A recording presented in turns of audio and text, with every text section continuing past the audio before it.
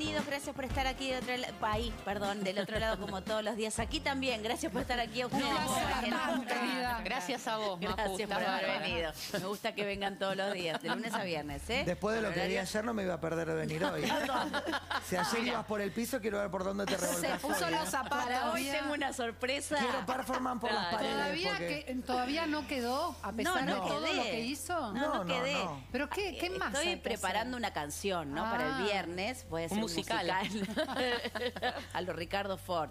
Que Dios lo No, tenga. no estaría nada Eh, mal que nos haga un casting a todas. No estaría mal. Uy. Con Pero- lo de ayer ya me gustó. Sí, pero eh, bueno, hay una parte que va a ser vestida. Yo paso. Bueno, que en realidad todas vamos a estar vestidas, vos tenés que imaginar. Cada una tiene bueno. que hacer su gracia. ¿Por qué no hablas por vos? Sí. Qué feo. No, igual Qué feo está que no bien. me dejes crear a mí. Sí. Claro, porque en realidad lo que pasa es que la gente cuando, cuando me ven a mí sueñan con empezar a desnudarse. Sí. Y vos venís y le pones el coto. Claro, es verdad. Perdón, No chicas, chivos, hagan por lo favor, que no quieran. Hagan lo que quieran, eh, pero yo voy venir vestida por vos, sobre todo que estás del otro lado, que seguramente estás merendando y decís, uy, qué fuerte. ¿No? ¿Cuánta calle, cuánto empedrado hay en Canal 9, no? ¡Ay, qué baqueta! Viste que con la ropa más o menos, pero hay telas que... Decís, ¿por qué me puse este pantalón? Que disculpen, la celulitis eh, es toda mía, ¿eh? Gracias. Va por cuenta Mala mía, mala mía. Vos decís, Viste, bueno, vamos a empezar este programa, que es un magazine para informarlos a ustedes que están de otro lado esperando toda la información. No, programa cargadísimo. Eh, vamos a ir a Moreno. Primero, obviamente, después vamos a ampliar con, con Carlita, porque hoy es 24 de marzo, es una fecha muy, Muy muy, importante. importante, muy importante. Así que memoria, verdad y justicia. Eh, nunca más, a 45 años de- del golpe militar. Del gol, Después- perdón, te digo esto, del, Del- golpe eh, del- cívico, tal cual, en todo, en todo, militar ¿no? y, y del- y de la iglesia, ¿no? Porque, Porque ahí fueron hubo- por todo, colaboraron cual. todos, nadie se quedó afuera. Y para que pase semejante cosa había mucha gente en complicidad. Así que después Carlita nos va a estar ampliando, pero no queríamos dejar de decirlo. Bueno, ahora sí vamos a ir con Maya, con Maya Kershen, que está en Moreno.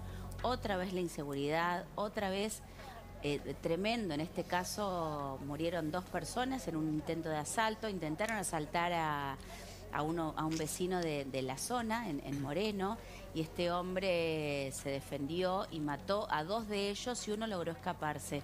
Eh, ahora vamos a ir con Mai. Eh, si mal no recuerdo, está ahí Mai. Si mal no recuerdo, es un hombre y una mujer quienes pierden la vida, ¿no? En, este, en este tiroteo.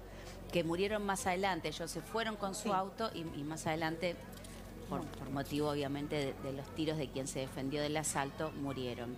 May, ¿cómo estás? Contame cómo, cómo está la situación, si se sabe algo de, de esta tercera persona que, que escapó. Y del hombre que está detenido, ¿no? Obviamente. Hola, Maju.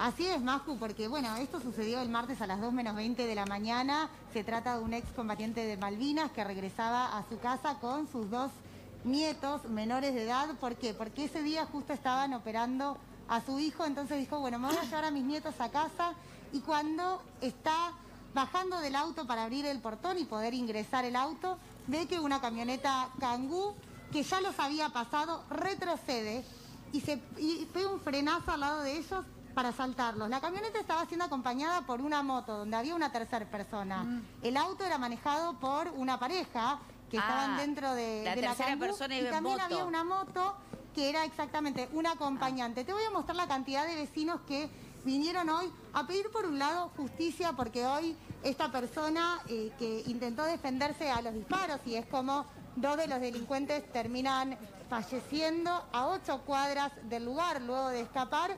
Están pidiendo justicia porque en este momento esta persona Él está, está detenida. El día de mañana va a estar declarando, está detenido, el día de mañana va a estar declarando en la fiscalía. Todavía no tenemos información del tercer delincuente que logró escapar y tampoco tenemos información del arma del tercer delincuente.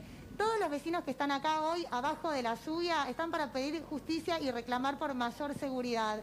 Por ejemplo, vamos a hablar con Susana, que minutos previos a salir al aire me contaba las situaciones diarias de violencia y robos que sufren. Susana, ¿qué tal? ¿Podrías relatarnos lo que nos Sí, contabas ¿qué tal? hoy? ¿Qué tal? Buenas Hola, tardes. Susana, gracias Bueno, mira, por la comunicación. eh, en primer lugar, ¿qué tal? ¿Cómo estás? Hola. En primer lugar, eh, queremos la pronta liberación de, de Claudio, que es un vecino que también expuso su vida porque era la de él o lo de los ladrones. Entonces, eh, queremos la liberación de él, porque en este momento, lamentablemente, eh, los, los ladrones eh, están, digamos, estamos al acecho nosotros. Y en segundo lugar, te digo, ya no podemos más acá en, en el barrio, los robos que hay continuamente de celulares, carteras, motos, autos, lo que sea, lo que sea, ya no se puede más.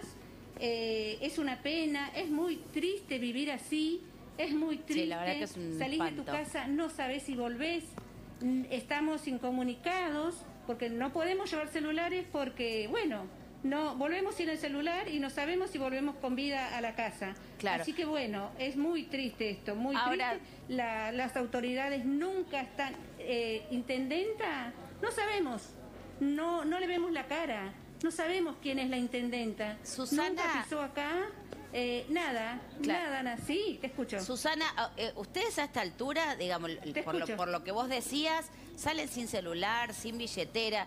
Digo, porque, entendiendo un poco la situación, si están tan acostumbrados, lamentablemente, a robos en auto, en moto, digo, la Sí, situación sí. que vive este hombre con, con una, una camioneta y una moto que los encierra, digo, no es que él creyó, digo, la situación es bastante común, lamentablemente lo que pasa en el barrio, que la inseguridad es diaria. No hay patrulleros, Sí, no hay sí, sí, nada. es en todo momento, en todo momento.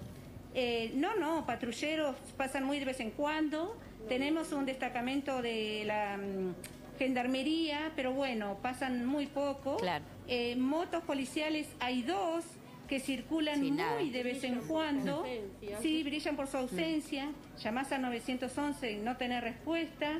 Eh, no, no, es muy difícil la situación que estamos viviendo. Susana, pero muy, muy, ya es el extremo esto. Se Sí. te escucha hablar de manera Sí, muy escucho. clara en relación a lo que vienen pasando en el barrio, pero imagino que tanto vos como todos los vecinos que están en este momento ahí se ven identificados con la situación de este vecino, porque entiendo que les podría haber pasado a cualquiera de ustedes. ¿Sabés si hubo otros casos de defensa propia en relación a robos en el barrio y alguien que haya pasado por esta situación anteriormente? Sí, sí, sí. Sí, sí, sí, sí, hubo a la vuelta de mi casa también un caso de defensa en propia. Y bueno, lamentablemente la persona se tuvo que mudar de barrio porque bueno, es como que te digo, los, vos haces algo en defensa propia y los ladrones lo que hacen después es venir y, y terminar con vos. Qué ¿no? venganza. Y Claro, la represalia. justicia brilla por su ausencia, las leyes no cambian, no cambian las leyes. Estamos expuestos a, a todo. Mira, José, recién a lo que preguntabas eh, si hay otros casos de violencia, te voy a mostrar porque, por ejemplo, Laura, que está acá con nosotros también, ella sufrió una paliza en un intento de robo. Vamos a preguntarle, bueno, Laura, ¿cómo fue la situación? ¿Vos estabas en la calle? ¿Te quisieron robar qué? Volví de trabajar a, la- a las 10 de la noche y bueno, voy al kiosco porque estamos siempre los vecinos ahí. Y nada, paré un auto, me, me pegaron dos piñas, me querían sacar la cartera, no. porque no se la quería dar. Bueno, me dieron una paliza, salieron los, los vecinos a, A ayudarme. defenderte. Así que bueno, Laura, así estamos, estamos cansados. Una locura lo que viven. una Hola. locura. Pues Laura, vivir es un la inseguridad, generoso, Tal cual. ¿no? La inseguridad una y otra vez. Vos decís que te atacaron a las 10 de la noche, este señor a medianoche. Esto pasa en un horario especial, eh, los pueden sorprender en cualquier momento del día. Eh, ¿Cómo se preparan, por ejemplo, a la mañana a la hora de ir a trabajar, de ir a tomar un colectivo, de estar en la parada? Eh, ¿Se organizan entre los vecinos? Y por, lo- por, lo- por lo menos yo acompaño a mi hijo a, a tomar el colectivo. Tenemos eh, los, los vecinos, tratamos de salir todos más o menos a la misma hora, pero te ven solo y te roban. Hace en cinco días robaron el almacén de acá a la vuelta, robaron una moto eh, a mano armada. O sea, estamos cansados. Parece cansados como de- una zona de liberada. Es un horror. Queremos trabajar, o sea, el chorro del ladrón Es un horror está porque... mejor que nosotros, o sea, de, está libre. Ahora está Claudio, que es un chabón laburante, que con su familia siempre laburó toda su vida Claro, está. Claudio está O sea, detenido. a matar por estos hijos de mil.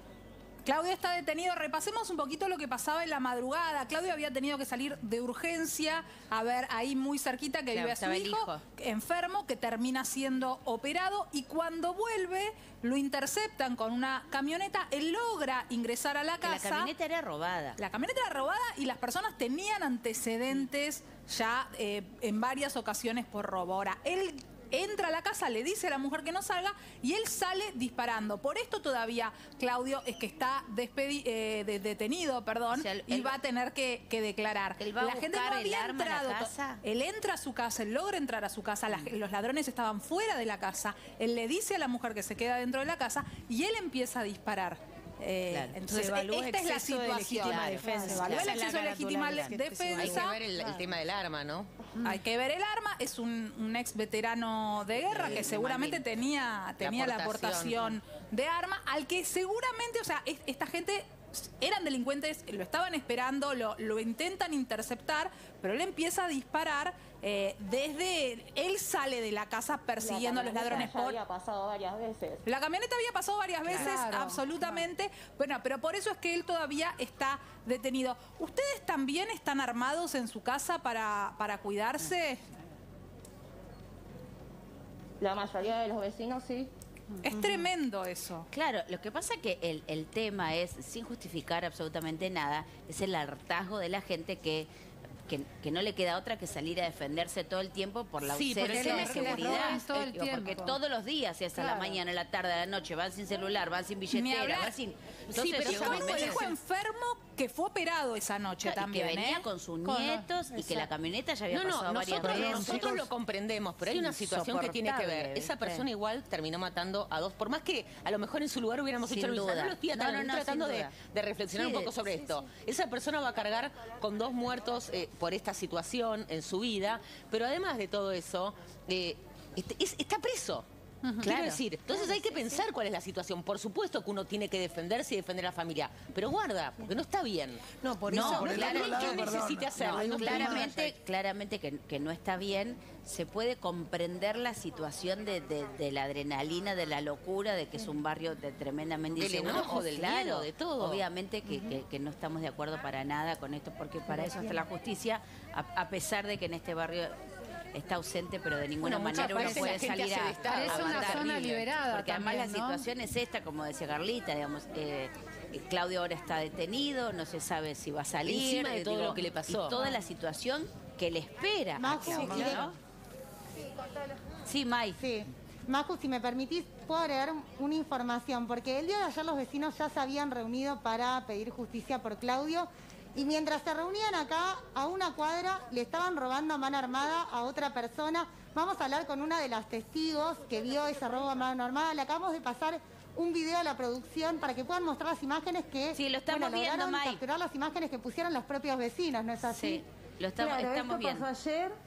Eh, hola, Majo, ¿cómo Hola, estás? hola, gracias. Eh, eh. Mira, yo tengo un... Justo a la vuelta de lo que está pasando, ten- yo tengo un kiosco a las seis y media de la tarde, después que nos fuimos de acá, de reunirnos, eh, estábamos con dos vecinas hablando en la vereda de este tema y adelante de nosotros, a 20 metros, pasó el chico con la moto, una moto atrás, Dios. sacaron un arma, le pusieron el arma en la cabeza, o sea, seis y media de la tarde y Sí. toda la gente en la vereda, ¿eh? O sea, la impunidad que tienen de, de actuar. Y bueno, quedó registrado en las cámaras porque te comento, estas cámaras son cámaras que pagamos entre los vecinos. Eso te iba a preguntar, si las cámaras, si ustedes Eh, están con nosotros- alarma vecinal y si las cámaras son de ustedes, va puesta por ustedes. Es todo exacto. Nos, de hecho, no te, solamente ni siquiera es eso. Tenemos las alarmas que las pagamos entre los vecinos, Es una locura. las cámaras entre los vecinos. Y hace un mes atrás tuvimos que llamar a una persona de la municipalidad, juntar plata entre los vecinos y pagarle para que nos arregle el alumbrado público. Y cuando ustedes reclaman, ¿qué, qué les Pero dicen? lo pagamos nosotros. La- el arreglo de la luz. Eso Los reclamos se locos. hacen en este momento vía por la pandemia todo telefónico, Todo, claro. donde te toman claro. el número de reclamo. ¿No hay respuesta alguna? Tenés que esperar que alguien venga a responder, pero como nadie llega y esto es una boca de lobo, tuvimos que juntar plata entre nosotros y, y pagarlo nosotros. Delirio. A una persona de la misma municipalidad. Delirio. Sí, bárbaro. Y de Te hecho, te consulto comento, algo en particular que nosotros tenga que ver con... acá, Te quiero consultar algo que tenga que ver con, con esto, puntualmente con los robos que Sí. ocurren en la calle. Casi todos los robos que ustedes relatan o, la- Sí. o las situaciones se dan eh, en la vereda, en la calle, no se dan puertas para adentro. En el caso de Claudio, Claudio entró a buscar el arma, pero el hecho se produjo en la de hecho, puerta. mira, te comento. No se- o se produce puertas para Claro, adentro. hace- Contame eso. No, no, esto se produjo en la puerta. No, eso se produjo en la puerta, en la puerta de su casa. Igual te cuento, hace dos meses más o menos, acá a una cuadra, un domingo a las 11 de la noche, sí, ha- hará dos o tres meses, entraron a una vecina, estacionaron dos coches, cruzaron el paredón, entraron a su casa, los ataron y les vaciaron la casa. Y te estoy diciendo que esto viene sucediendo en, en estos últimos seis meses, esto es un desastre. Con lo cual los robos Eh, no son solo auto, de ejemplo, puerta no para afuera, son también dentro de las casas. La- agresión es para también puerta para adentro. Una locura. Exacto. De hecho, Pau, mira, acá se acaba de acercar un vecino que dice, a mí también me robaron. Vamos a preguntarle cómo fue en su caso No frena nunca. Pero es una que le robaron. ¿Fue en la calle? ¿Entraron a su casa? ¿Cómo le robaron? No, no, no, no. eh, Entrando a la, puerta de mi casa, eh, llegaba con, con mi esposa y menos mal que los vecinos vieron, igual nos, arra- nos robaron, nos llevaron el auto, nos llevaron un televisor, entraron, pero los vecinos salieron, mis vecinos, tres vecinos, y lo empezaron a tirar piedras. Y de esa manera, diríamos, los espantaron, porque la, la idea que tenemos todos los vecinos de acá es que no tienen que entrar. Si te agarran es que no tienen que entrar. Porque un- si están adentro, ya estás liquidado. Entonces, me salvaron a mí los vecinos que empezaron a hacer tal bulla, tirando piedra de atrás de los árboles a los Sí, tipos que tenían armas en la mano. Cualquiera. Así que, eh, imagínate de lo que estamos hablando, ¿no? Claro, el caso de Claudio es especial Y si me por permitís hecho... una más. Sí, Eh, todos los vecinos acá tenemos nuestro grupo de, de- de Facebook. Es constante, eh, pero te diría, cada, cada cuatro horas, la moto roja, la moto negra con los dos de la capucha, la ya vivimos Ya así. lo te- conocen. eh, Claro, dan como el alertas tiempo. internas. El mensaje de todos nosotros es la moto con tal o con dos o con... Es un delirio. La- la- es así, esto ya nos acostumbramos, ya sabemos que, como, que tenemos que hacer padres remiseros, que salimos todo el tiempo, eh, es hacer un, un grupo comando para entrar y salir de tu casa. Claro. Eh, una barbaridad. Sí, hay que ver el caso de Claudio específicamente por el hecho- de que él ya había logrado, digamos, de alguna manera liberarse Claro. de los delincuentes y es él el que ataca primero. Pero sin lugar a dudas lo que están sufriendo es una palabra de inseguridad tremenda. Ahora, te quiero preguntar a bueno, vos. es el miedo que se metan, ¿no? Era, era Sí, una moto, claro. eran dos autos. Ahora, cuando No. ustedes encuentran, por ejemplo, a estos delincuentes que recién veíamos en la pantalla, ¿no? Que los filman robando una moto, u otros que captan también en la vía pública con las cámaras que ustedes pusieron. Cuando ustedes llevan estas filmaciones a la comisaría o a la fiscalía, ¿qué les dicen? ¿Les toman la denuncia? ¿Salen a buscarlos? Bueno, en, en el caso mío, eh, tuvimos que hacer un operativo para, para- para llevarle a la policía la- la- la- la- las pruebas del fulano que era este y este. Y, y tengo que decir que con todas las pruebas ahí se, se movilizaron, pero eh, no hay trabajo previo, no hay, no- nadie nos cuida antes de que pase. Claro. Vos decías Eh, recién... Yo sé que vos estás diciendo ahora, y si hicieron o no hicieron. El problema es por qué llega a pasar esto. Claro, claro. Porque, no, por- porque si No hay vos ves el prevención, estado claro. de la camioneta que anda acá, vos no se la comprás ni en pedo. Claro. Están destruidos. eh, Claro. Los, cha- los changos andan, los picapiedras parecen, los patrulleros sin piso. Recién, ¿Cómo? recién decías, Eh, bueno, Si ahora vos me decís, ah, recién decías que cada cuatro horas eh, se produce un asalto, más o menos, y ahora también estás diciendo que, que los No, no. patrulleros están en, en- en mal estado y que, bueno, que, que no llegan a, cu- a cuidarlos. Pero en algún momento pensaron que, que es un barrio liberado, que es una zona liberada, que, que no los cuidan por algo. En, en lo personal, yo no lo voy a decir por la Ajá. gente. Yo no voy a decir que está liberado, porque que esté liberado significa que hay- alguien que hace plata con esto. Yo no puedo decir que el comisario de la tal o de tal hace plata con eso. Yo no digo eso. Lo que sí digo es que no están. Si, si es- estar liberado significa que eh, alguien hace ne- negocio con eso. Yo Claro. no estoy, no- yo no sé si la poli hace negocio con eso. Ahora, Lo que May- concreto es que no están. Que no hay nadie Claro. Si vos ves los Mirá, móviles que Maju- tienen, Maju, te cuento que Sí, no son los únicos que fueron asaltados, son varios los vecinos los que mientras hacemos la nota se siguen acercando para decir, a mí también me robaron, yo quiero contar lo que me pasó para que no vuelva a pasar. Vamos a hablar con otra vecina, ¿qué fue lo que sucedió en tu caso? Bueno, en mi casa me entraron a robar dos veces. Eh, la primera fue el 10 19 de marzo, cuando, cuando se decretó la cuarentena, estábamos comprando en el centro y una hora y media tardamos. Entraron y desvalijaron todo lo que pudieron. Y el 27 de diciembre volvieron a entrar. No sabemos la realidad si son los mismos, pero rompieron una ventana. Gracias a Dios no estábamos. Eh, la verdad que se llevaron todo, se llevaron, yo tuve familia recién hace el 7 de marzo y se llevaron cosas de mi hijo, ropa.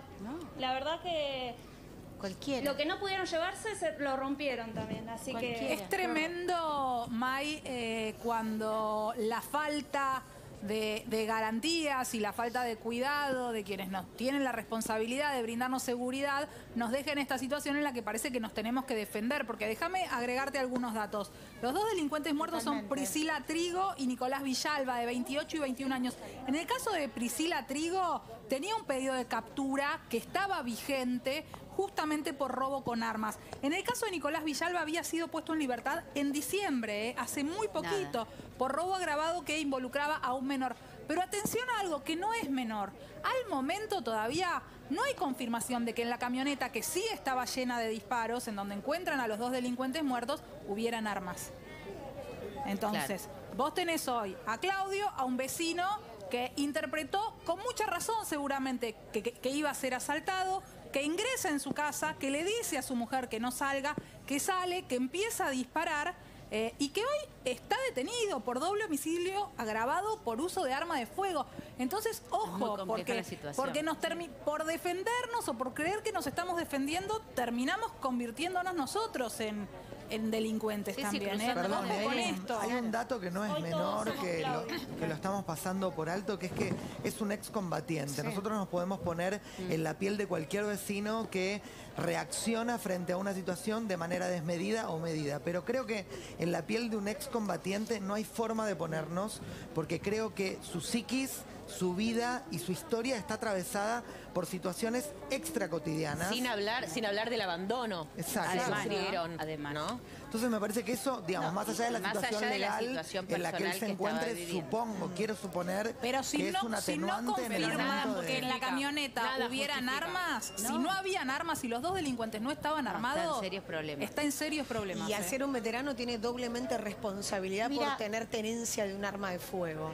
O sea, es No, doblemente es responsable por, por las decisiones que tome. Todo al revés al igual pasa, ¿no? ¿Está Sí. todo pensado al revés o soy yo? Sí, sí, Es sí. complejo. Lo que pasa es que también da, da cuenta Pero, del nivel de mira, paranoia déjame con el que se vive. Obvio, ¿no? porque hay un ¿Qué te momento donde reaccionás por, Claro. por, momento la por cabeza se te. No por lo que está pasando. No Claro. importa si el tipo tenía el arma o no. Obviamente que sí importa, pero a lo que me refiero es que La lo que te pasa en el el momento es no vi el arma, pero la puede tener. Pueden entrar, se me pueden meter. Mientras tanto, su hijo estaba enfermo y, y lo tenía que llevar a operar. claro. Era- Nietos. También hay que ver si la persona que se escapa en la moto no estaba armada. Claro. Porque no sabemos qué es lo Porque que no cuenta el- el- la Claudio que está detenido. Quizás la persona de la moto sí estaba armada y lo apuntó.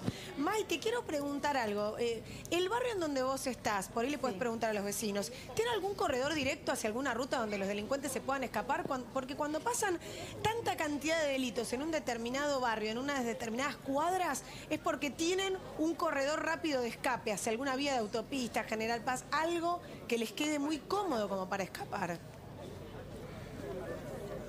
Lo tienen, de hecho, lo tienen, el corredor que tienen cerca para poder escapar. ¿Cuál sería en este caso? Colectora, que La tenemos colectora. acá tres cuadras. Tres cuadras la Acá, colectora. Ah, a claro. otras tres cuadras tenemos ruta 23, que va para San Miguel. Claro, está ahí nomás. Acá. Y no hay retenes tenemos policiales. 25. Digo, no, hay, No, hay tenemos- retenes, no hay controles. tenemos tres salidas. Digo, sabés que está el acceso este, sabés que está la Tenemos ruta. CPU, tenemos uno acá en la entrada en colectora eh, y otro para el otro lado también, en Victorica y colectora, pero no. Olvídate, Habría- no le pidas ayuda porque no pueden, no pueden moverse de su lugar, Y dice. Yolanda, déjame preguntarte, en el caso de que esto siga sucediendo, que le sigan sucediendo los robos, ¿qué alternativas tienen? ¿Qué piensan hacer?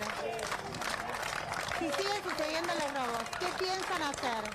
Mira, nosotros ya estamos, ya vieron la unión que tenemos entre los vecinos. Es salir a repeler a los delincuentes nosotros mismos, con nuestras propias armas, lo que tengamos en casa, como hizo Claudio. Porque hoy todos somos Claudio. Es así, hoy todos somos Claudio. Porque nos, me pudo haber pasado a mí, nos pudo pasar a cualquiera. Entonces, la única solución es armarnos y salir a defendernos. Ya que la policía, o sea, los que se tienen que ocupar, no se ocupan. Ya vieron la unión que hay acá. Así somos los vecinos. Tenemos una alarma vecinal que cuando suena, salimos todos a matar. Al, al delincuente, al que sea. Salimos Sí. a matar. Es así. Es terrible. De igual manera, eh, por más terrible que es la situación, claramente no, no es, lo, no es lo que No hay que hacer. camino. Digo, a- acá lo que tendría que, que- que haber es una seguridad y una garantía para toda esta gente que está pidiendo seguridad y que ya no sabe de qué manera, digamos. Tienen alarma vecinal, compraron ellos las ¿quién cámaras, pagan ellos a los eso, empleados. Esa Claro, bueno, ¿Quién se tiene que a- a quien le corresponda. Claro, sin duda, la sin duda. Pero no, pero no somos nosotros los que tenemos que salir a impartir justicia con un arma. Sin duda, y estoy absolutamente de acuerdo. Pero no nos queda otra. Es una- pero es una locura. Es una locura. ¿Qué, May, ahí, Queremos que alguien nos dé respuesta.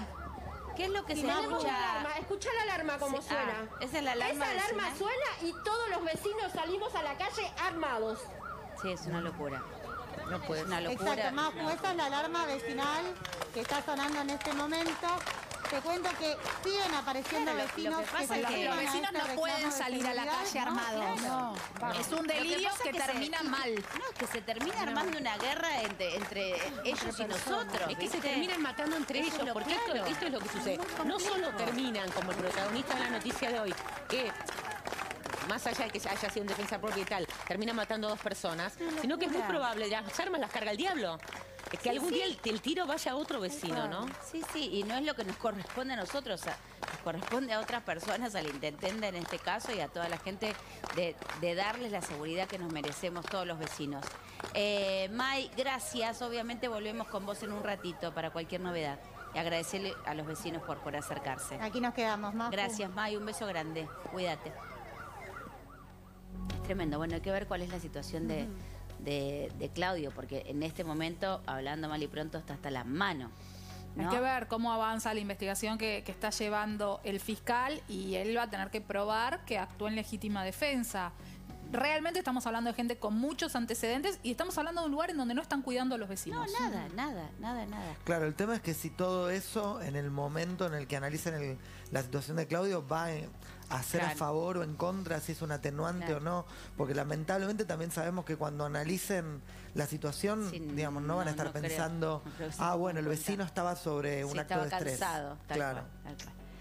Bueno, vamos a, obviamente estamos al tanto y, y esperando a ver si hay alguna novedad del caso. Vamos a cambiar de tema, vamos a ir con el doctor Pisi, eh, es epidemiólogo, eh, amigo de la casa, porque se registró una nueva muerte por esta variante del Reino Unido, ¿no? Acá en Argentina, en la ciudad la de primera Córdoba. muerte. Córdoba, la primera muerte por la variante del. Reino Unido, pero atención que hay más casos con la variante del Reino Unido y con la variante de Manaos también. Sí. A ver, porque la, la situación es que este, esta persona llega de viaje y no se aísla Sí, correctamente. es una persona que fue a Suiza, que hace escala en San Pablo, que tiene un PCR negativo. Sabemos que a pesar del PCR negativo, cuando uno se va de viaje tiene Se que tiene que volver aislar y aislarse. aislarse. Él no se aisló y termina contagiando, si no me equivoco, a ocho contactos eh, Estrechos, cercanos de, claro. de él, familia, amigos, con la variante de Manaos, con la variante P1, que sabemos que es mucho más contagiosa y grave. Sigue sorprendiendo la falta de responsabilidad también, más allá de, obviamente, pobre hombre, ¿no? Pero digo, esta situación de, im- de impunidad con la que uno No carga de venir de nada. Además, no la principal problemática que tiene hoy No el mundo, son, por supuesto, el acceso a las vacunas, pero después son las nuevas variantes. Porque, por ejemplo, la cepa Bueno. de Manaos reinfecta a aquellos que ya Bueno, tenían tal vez es hora de que vayan tomando acá alguna medida concreta respecto de las fronteras, más allá de que nos enojemos con este hombre. Bueno, es que en realidad la medida de los siete días de aislamiento está, está Claro, vigente, pero la gente que no no, la se está respetando. La Bueno, pero, eh, a ver qué de- tenemos, a- sí, tenemos al doctor Pisi. ¿Cómo le va, doctor? Gracias por la comunicación, como siempre. Hola Maju, ¿qué tal? Hola. Buenas tardes. Eh, Buenas tardes. Estaba prestando atención a, a la nota anterior y realmente son otra epidemia más, ¿no? la epidemia de la inseguridad y la epidemia que estamos viviendo De la ahora. desprotección. Te voy a... Sí, sí. eh, vos sabés que te cuento qué sucedió. Un matrimonio que viene de México se contamina con la cepa británica. Él, 59 años, se interna, muere. Ella todavía está Qué locura recuperándose.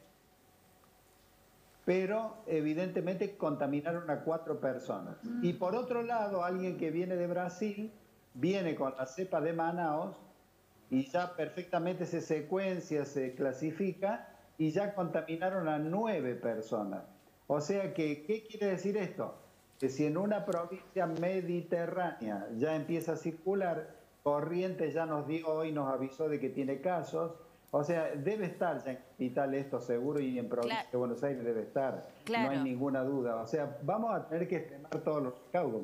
Claro, lo que pasa que es como una película que ya vimos esto, Sí. digo, hace un año atrás veíamos el lamentable caso de lo, de lo que pasó en Moreno, de este chico que Mm, viene la de fiesta de viaje, 15. la Mm. fiesta de 15, se muere su abuelo, contagia un montón de gente. Digo, lo increíble es que ya lo vivimos y parece que no hemos aprendido nada, con tantas muertes a nivel mundial y con tantas pérdidas que se sufren día a día. Entonces, resulta increíble, sin, sin echar culpa, sin señalar ni nada, digo, pero cuanto menos es llamativo la falta de, de responsabilidad con la que venimos. Digo, porque este hombre Bueno, contagia a estas ocho y estas ocho no sabemos cuál es el- cuál es el contacto que ellas tienen. Digamos, lo vimos, lo venimos viendo hace un año esto. Bueno, pero la gente que, que vino, los 100 alumnos esos que fueron de viaje de estudio a Cancún, A Cancún. 100 contaminados con laboratorio falso, cada uno va a su familia, entonces así se empieza a difuminar el virus. Claro. Pero quiero contarte algo. Sí, no es tan difícil de entender, ¿viste? la Pero parece que sí. evaluación de... Pero seguro, seguro que sí. Mira, eh, nosotros pedimos siempre a todas las provincias grandes que nos digan si se usa o no se usa el barbijo tapaboca. Los informes son, los tengo acá en planilla. Hace 15 días debajo de la nariz. Hace 8 días debajo de la pera. Sí. O sea, la, la- la mandíbula. Y hoy un porcentaje enorme sin barbijo. Vos sabés que han tenido que poner dependientes en, en cadenas grandes comerciales en la puerta para que les digan que sin barbijo no se entra. Sí, en un montón de O sea, ya lugares no hay. hacen caso, al, por ejemplo, al cartel. Bueno, entonces eh, estamos comprometidos, estamos muy comprometidos. Hugo, cuando hablamos de una nueva cepa, ¿qué estamos diciendo de manera concreta y de manera directa para la gente que nos está viendo del otro lado? ¿Que nos contagia más? ¿Que la vacuna no sirve para esta cepa? ¿Que hay otro cuidado que hay que tener? ¿Que es eh, más peligroso en el momento que estás infectado? ¿Que si ya tuviste otra cepa, esta cepa te contagia como si nunca hubieras tenido nada y el anticuerpo no sirve? ¿Qué significa una nueva cepa?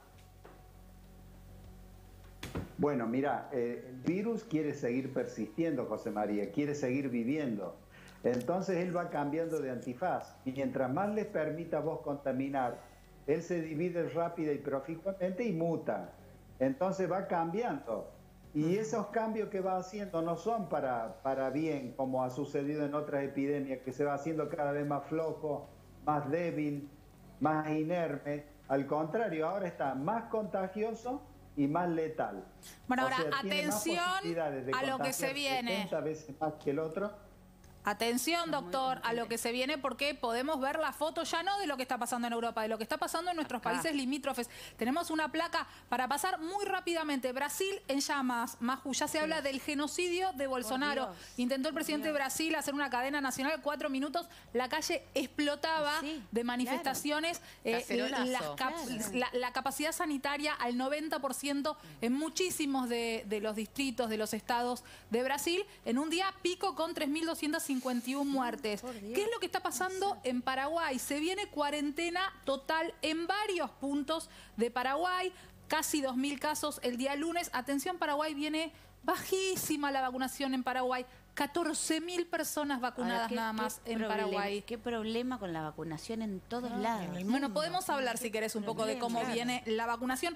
Chile, Chile que viene mejor en cuanto a vacunación. Chile tiene casi 6 millones de personas con la primera dosis aplicada, es un 30% de la población, y sin embargo también Chile la está pasando no llegan, muy no mal. llegan, no llegan. No llega a ser efectiva hasta que no llega a, lograr la inmunidad Ah, de sigue siendo rebaño y se viene una cuarentena para el 70% de los habitantes eh, en Chile, eh, de, de muchas de las principales ciudades, porque subió el 36% la cantidad de casos en las últimas dos semanas. Y Uruguay, país vecino, que a veces también escuchamos que que no está tan mal. Bueno, está mal Uruguay, se terminaron las clases presenciales en Uruguay. Eh, eh, pero están bien de vacunación, sin embargo. Claro. Pero Chile es el tercer país del vacunado mundo que más 10%. vacunó, ¿eh?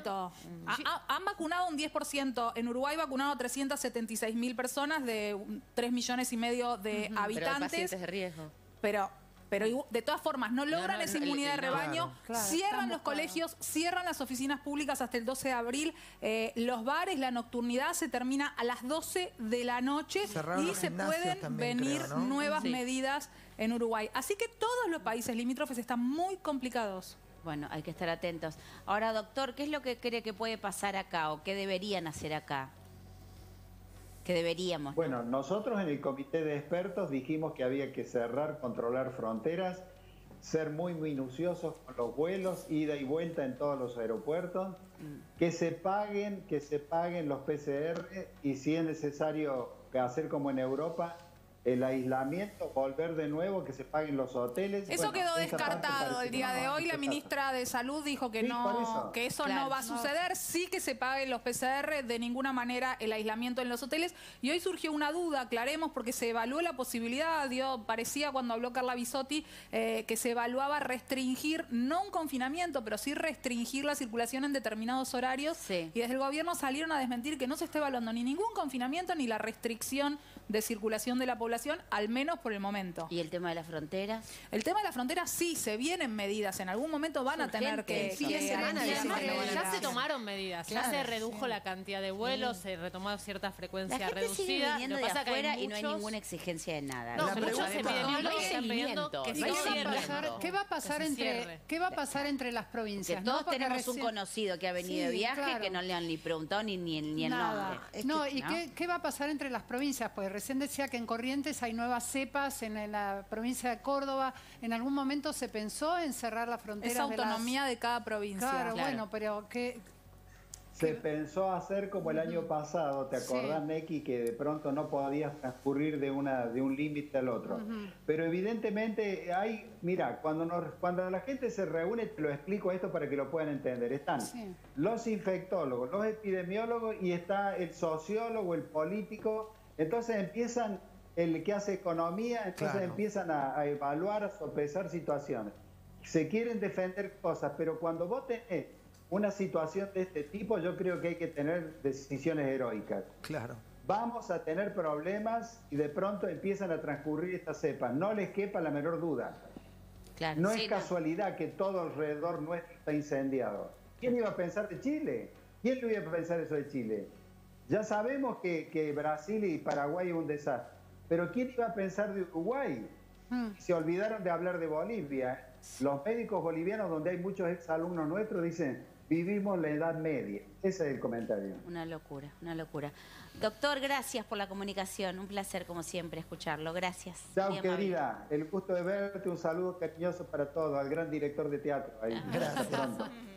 Gracias, Doc. Gracias.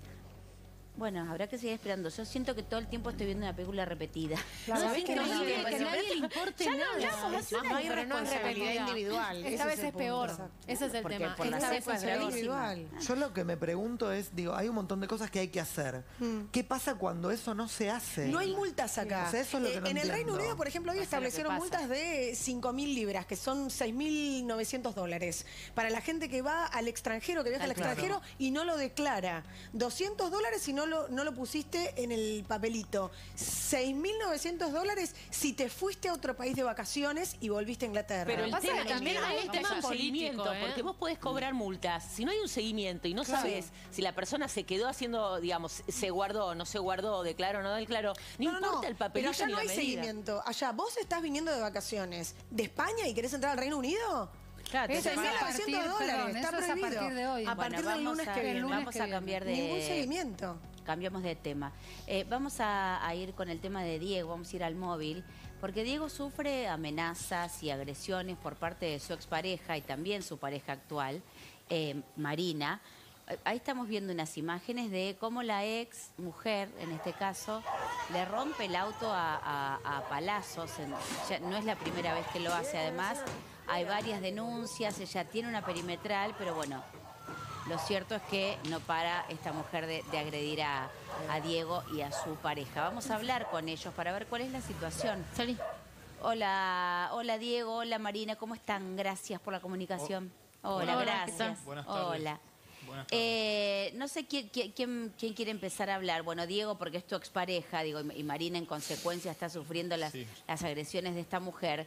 ¿Cómo, cómo empieza, ¿Cómo empieza esta situación y hace cuánto que están viviendo esta situación? Y esto empieza de que yo me puse en pareja con Marina. Ajá, ¿qué hace yo- cuánto? Fue una separación como cualquier otra. Eh, hace de noviembre, de noviembre del año pasado. Ajá. Y Diego, eh, ¿ustedes tienen un hijo? ¿Con tu exmujer tienen un hijo? Con Analía, sí. Ajá, con mi sí. ex mujer tengo una hija de 14 años. Ajá. Así Y, que y la Debido a relación... todo esta de separación no, ha- no hablo.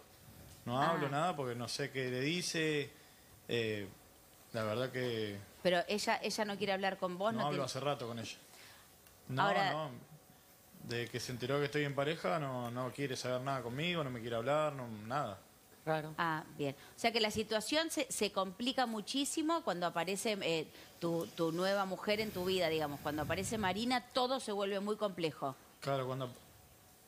Claro, no sé, le molestó que yo me puse en pareja. No sé qué decir porque empezó todo mal del día que se enteraron que yo estoy en pareja. Y hasta ese momento... Ahí empezó la guerra literal que, que, que ella me, me dijo. Diego, y hasta ese momento, ¿cómo era tu relación con tu ex y cómo era tu relación con tu hija? Hasta, hasta antes de que se hayan Con mi enterado hija, lo de Marina. eh, Era hasta antes. Era perfecto.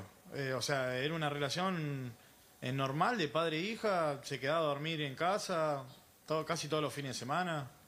Era, era normal, una separación normal.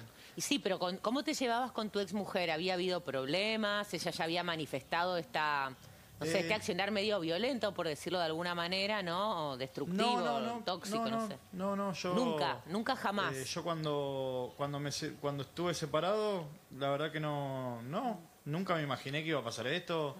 Eh, yo estaba tranquilo, era una separación normal, o sea, ella hacía su vida, yo hacía la mía, tenemos una hija de por medio y vivíamos bien, o sea, Ahora, me hacía cargo del tema de la mantención, me hago cargo de la mantención, de... sí, sí, como de- de cualquier mi hija, cada vez que separación. quería venir a mi casa, venía. Claro. Ahora, Diego, la, Totalmente, la como situación cualquiera. es compleja también porque Marina también tiene problemas para eh, moverse con su hija, llevarla al jardín, digamos. No, no son solo las agresiones Claro. y la rotura del auto, que es lo que vemos en el video, Claro. sino que hay una diaria que ustedes no pueden hacer. Un peligro, claro. Claro.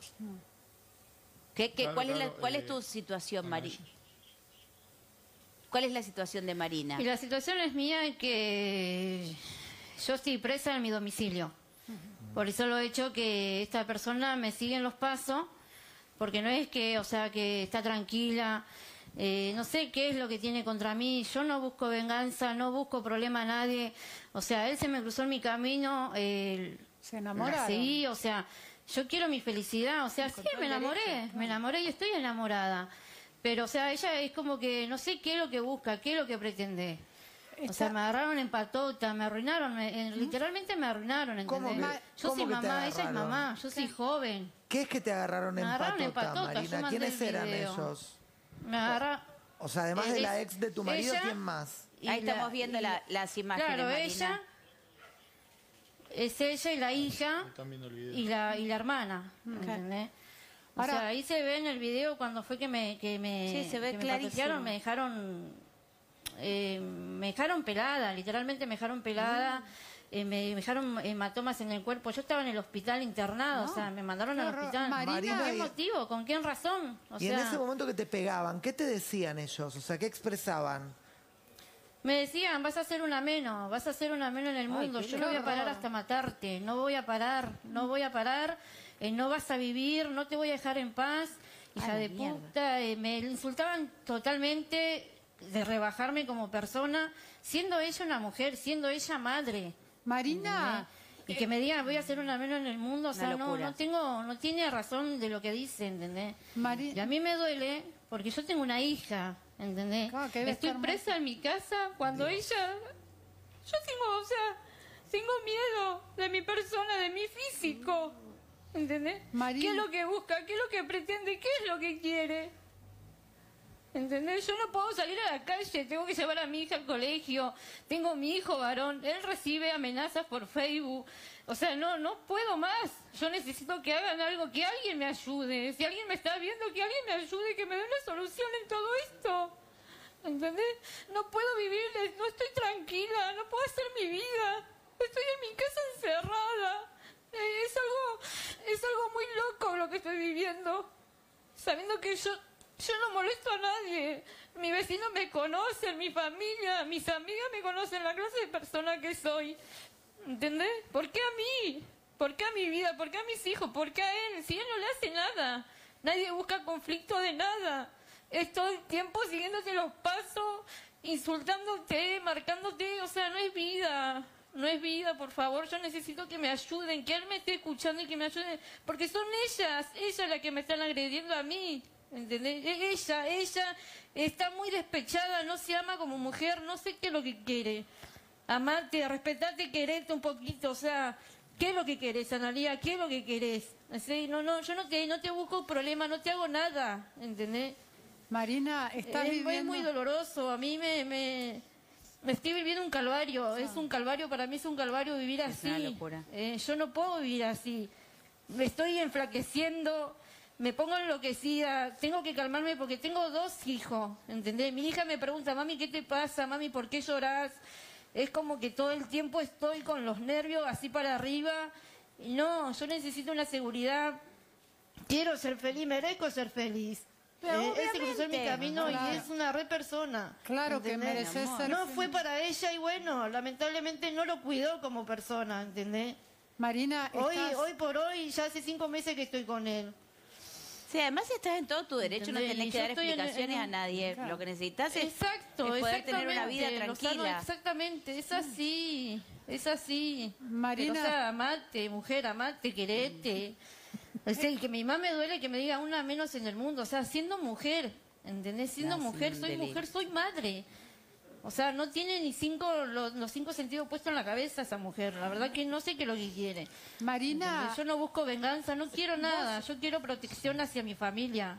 vos estás viviendo, estás viviendo un infierno y como decías recién mereces Es un infierno, 100% ser es un feliz, infierno. te enamoraste de un hombre eh, donde apareció una mujer con, con unos celos evidentemente tremendos, ¿no? ¿Vos en algún momento tuviste Tremendos. relación con, con la hija de ellos dos, que, que haya despertado esos celos, que ella te haya querido, que no sé, eh, te planteaste por no, dónde es que pudo nunca haber tuve la toda oportunidad esta de locura? conocer a Maitena. Sí la conozco. Pero de hecho no, o sea, con lo que me hicieron a mí, de empatotearme, en pegarme de la manera del cómo me pegaron, de tan cizañamente que se, se, se cizañaron hacia mí, o sea, no, no, no le encuentro el motivo, no le encuentro la razón del por qué. Si yo no voy y ando caminando, no ando divulgando diciendo, ah, sí, tú, no, nada, nada, o sea... Yo lo que quiero es mi felicidad, quiero estar tranquila. María, ¿cuántas denuncias digo, me lograste encantaría realizar? ¿Cuántas denuncias lograste realizar? tiene ¿Cuántas de- seis denuncias, seis denuncias. por agresiones Tiene físicas hacia vos? Las seis. Tiene seis denuncias, eh, tiene dos en, en Bellavista, dos en San Miguel, dos en Morón, una en Moreno. Ah, está eh, llena de denuncias. Perimetral Tremendo. vigente.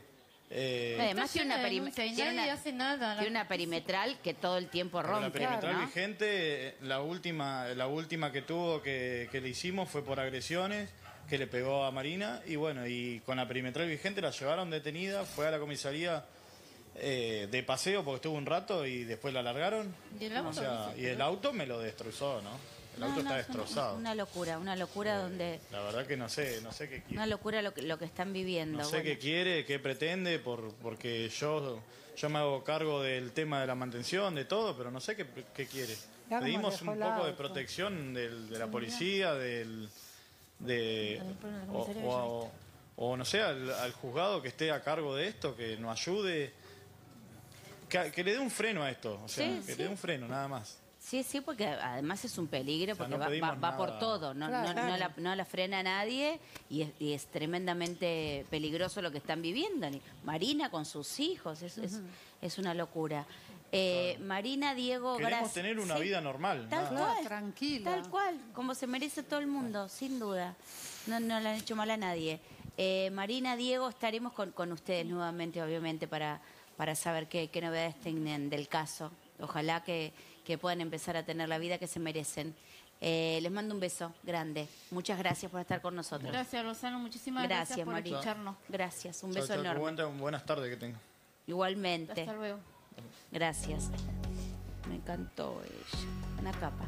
Eh, ay, perdón. Una novedad mundial contra piojos y de efecto instantáneo. Zona Libre, la única loción para chicos de 2 a 12 años, de 2 a 12 años con Farmacapil, un revolucionario compuesto que actúa física y no químicamente, no atacando los piojos, sino ahogándolos y eliminándolos rápidamente en una sola aplicación. Mira. Zona Libre no tiene olor, no arde, no daña el pelo y puede utilizarse tantas veces como quieras. Y como no necesitas peine fino, es rápido y tus chicos no sufren. Zona Libre instantáneo de seguro es 100% efectivo y es el único que rinde realmente hasta dos veces.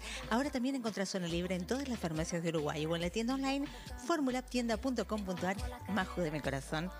Gracias, Paulilla de mi vida, me ahogué, perdón. Eh, solo hay un antitranspirante que puede con estas temperaturas. Rexona Clinical ofrece la máxima eficacia antitranspirante, incluso en días de calor extremo. Te lo pones antes de salir y dura todo el día con una sola aplicación. Proba el nuevo Rexona Clinical, protección como nunca antes. Rexona Clinical presenta la máxima eficacia antitranspirante en aerosol. En situaciones de calor extremo, libre de transpiración y mal olor. Nuevo Rexona Clinical en aerosol. Rexona no, nunca, jamás, en ninguna ocasión te abandona. Rexona nunca, jamás, en ninguna. Me encanta, quiero ser esa locución. Para siempre. Me amo. encanta. Me encanta. Bueno, vamos a cambiar de tema. Vamos a hablar con, con Estefanía Berardi. Eh, Estefanía, una amiga de la casa además, contó que, cuando era jovencita, más joven aún porque sigue siéndolo, estaba buscando trabajo y, engañada cayó a un lugar que, cuando llegó eh, se dio cuenta que era un, prostíbulo y bueno, por suerte pudo, pudo escapar ahí. Ella fue por un anuncio o, o le dijeron que buscaban bailarinas. Vamos a hablar con Estefanía para, para ver cu- cuál fue la situación. Hola, Estefi, gracias por estar con nosotros. ¿Cómo estás? Hola, Majo. Hola, Hola a ¿cómo todos. va? ¿Cómo andan? Bien, ¿y tú? Eh, bueno, muy bien. Gracias por darle visibilidad a estos temas. Mm. Eh, no, no pensé que iba a tener tanta repercusión. En realidad lo conté como una anécdota, un mal recuerdo, una mala anécdota, te podría decir. Eh, pero no pensé que iba a tener tanta repercusión y la cantidad de chicas que me mandan mensajes contándome casos parecidos. Es que eso te iba a decir, Estefanía. Lamentablemente, eh, muchas mujeres pasan por estas situaciones. Ahora, ¿qué, qué es lo que te lleva a vos a, a contar? Digo, te, ¿lo tenías presente y, y- y- y en algún momento tomaste el valor de contarlo? ¿Cómo, cómo dijiste, bueno, voy a contar mi experiencia para, para que otras chicas estén atentas también? Lo tenía cero presente. Ah. Lo que me pasó en realidad es que estaba viendo la serie de Lali Espósito, Sky Claro, Rojo, que habla sobre la trata. Sí. Eh, y me empezó a parecer un horror lo que veía. Y me empecé a pensar, seguramente estas cosas siguen pasando en su Instagram, siempre muestra la mejor foto o donde mejor sale. Y dije, si yo viví momentos que fueron horribles. Con vos, porque creo que le puede pasar a muchas chicas. Digo, estás mirando una miniserie que para la gente que no lo sabe es una miniserie que es tendencia en este momento, que se llama Sky Rojo con Lali, Con Lali. Espósito de protagonista, en donde la trata de mujeres está tocada, por decirlo de alguna manera, por primera vez desde un lugar de entretenimiento, digamos, al igual que en La Casa de Papel tocan la delincuencia. Eh, lo que te quería preguntar es, cuando vos viste esa serie, digamos, lo que te pasó es que vos te identificaste en ese plano de esas mujeres que son parte de una red de trata o te diste cuenta cuán cerca puede estar la red de trata y uno no se da cuenta porque la tiene ahí nomás. Claro. Sí, zafó justo. Claro. Sí, también eso, José, lo que estás diciendo, eh, de que le puede pasar a cualquiera, Claro. de que es muy peligroso y de, de que hay que estar muy atento en, en- en lo sutil, porque en un momento de la serie Gina, que es una chica del personaje, y parece que me pagaron para vender la serie, pero la verdad que no. Pero eh, ¿Cómo te diste cuenta? Eh, ¿Cuándo se te prendió la, la alarma, digamos? ¿Cuando entraste a un lugar? ¿Cuando viste algo extraño? Eh, ¿Con la respuesta de la persona que te llamó para contratarte? Empecé a ver pequeñas señales donde yo no entendía dónde estaba y en un momento empecé a atar cabos y me di cuenta. La primera señal que observé cuando yo entro, que me abre la puerta una mujer muy anciana, muy mayor, eso me llamó la atención, le dije que venía a hablar con este tipo, me, me hizo sentarme a esperar y mientras yo esperaba ahí empecé a observar. Lo primero que observé es la decoración del techo que tenía unas telarañas como de cotillón pegadas. Señora, y te esperaba alguien más. Digo, ¿pudiste ver a alguien más? ¿Pudiste ver otras chicas? Sí, ahí es donde me empiezo a dar cuenta. Se abre una puerta enfrente mío y sale una rubia envuelta en un toallón con un rodete en la cabeza, como que salía de darse una ducha. Claro, Y esta Que a vos te convocaban como bailarina. eh, ¿Qué decía? ¿Qué estaban buscando? Digo, porque esto le puede servir a otras chicas para estar alerta, ¿no? Exacto, era muy corto y conciso. Decía, eh, se buscan bailarinas para shows y un número de teléfono. Mm. Y nada más. Claro. Eh, Y yo dije, bailarinas en Mar del Plata, yo que en yo bailo danza clásica desde que tengo 8 años y ahí no hay un campo laboral amplio en Mar del Plata, es como que todos están Capital Federal. Claro. Entonces para mí ver eso fue como wow, encima que tengo ganas de laburar de algo, porque no lo hice ni por necesidad, era porque quería ver cómo era trabajar. Ay, no se escucha. Se. Bueno, mi- mientras eh, lo recuperamos, si- es si podemos retomar, interesante. eh, ma- más allá de esto, hay que estar atenta. Sí, es interesante el testimonio de Estefanía porque pudo zafar de una situación que mundialmente hoy involucra a 21 millones de personas. La trata eh, es la esclavitud moderna, Sí. La esclavitud actual tiene que ver con la trata. Argentina es país de origen, tránsito y destino de trata de personas. Involucra, por supuesto, a las argentinas y también a inmigrantes de países limítrofes. Y las mafias que captan a las mujeres buscan un perfil en particular, prometen cosas vinculadas a lo laboral y no te dejan salir de ahí. Así Y sobre que todo a mujeres necesitadas, Claro. digamos. Absolutamente. Una locura. Bueno, un beso para Estefanía, que no, que no podemos retomar la, la comunicación, pero bueno, sí, es importante para que se abra debate y bueno, por eso la, la habíamos llamado. Así que un beso, Estefi. Beso enorme. Bueno, nos vamos a ir a, a nuestra doc, a otra amiga de la casa, a la doctora Estela, Estela Maris Cuevas. ¿Cómo le va, doc? Gracias. Gracias por estar con nosotros. Hola Maju, muy buenas tardes y muy buenas tardes a todo tu elenco. Gracias, viste qué lindos compañeros. Eh, Doc, se viene la época de las alergias, de los resfríos. ¿Qué hacemos para que esto no confunda con síntoma COVID? Estamos. Mira, eh, hoy por hoy ya eh, el que se sabe el que se sabe alérgico ya prevé que estamos con el mal del otoño, que es la rinitis alérgica y que corresponde a todos los alergenos intradomiciliarios, Ajá. o sea, los ácaros, el polvo de casa y también si hay mascotas puede aparecer el bloqueo nasal, la crisis de estornudo, que es eh, también eh, la agüita por la nariz y muchas veces también puede aparecer un picor en la nariz y en los ojos. El que se sabe alérgico no tiene ni que sospechar, sino es una crisis de alergia y como estamos atravesando por la astenia primaveral, ¿te acordás que hablábamos en un, en un momento de la astenia primaveral? Ahora estamos con la astenia otoñal. Ajá. El día es corto eh, porque que oscurece más, más, más tarde, eh, eh, perdón, amanece más tarde y oscurece más temprano. Entonces la energía solar es más débil.